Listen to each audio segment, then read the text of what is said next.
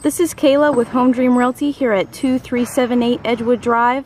Um, this is a four bedroom, three bath, one half bath we have listed for rent. I'm going to have you guys take a look inside. So walking in here we have some nice wood flooring. This could be an office or a formal dining. Another formal dining over here. Through the hallway into the kitchen. Beautiful stainless steel appliances, separate cooktop, into the living room area with a gas fireplace. Of course, you can go into the dining room there. In here, we have our laundry, some storage space up top. This is our half bath. Walking over here, we have some closet space, a pantry. This is your garage, a little dark, but two car garage.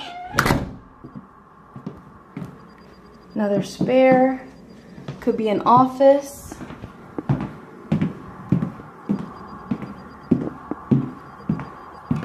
I say four bedrooms, um, but there are two spare rooms, like that office I just showed you that could potentially be used as bedrooms. There's another one downstairs I'll show you later.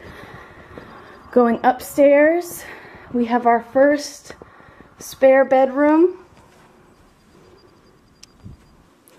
Moving on into the master, very large master.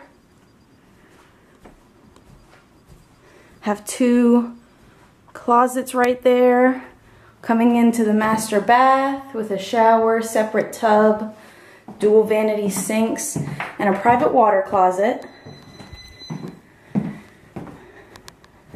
Coming out of the master now.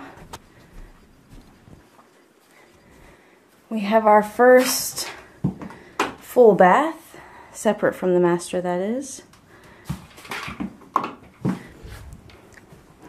Another spare bedroom. It's a linen closet right there. Another spare. Nice big rooms.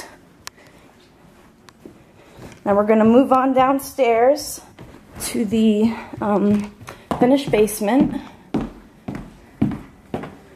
Actually, you know, before I take you to the basement, let's take a look at this backyard.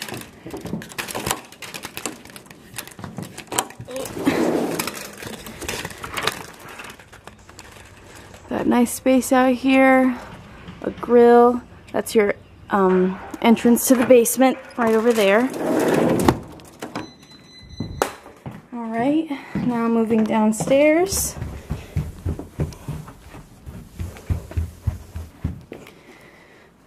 Have a pretty nice finished space down here. Plenty of room. This is that full bathroom downstairs.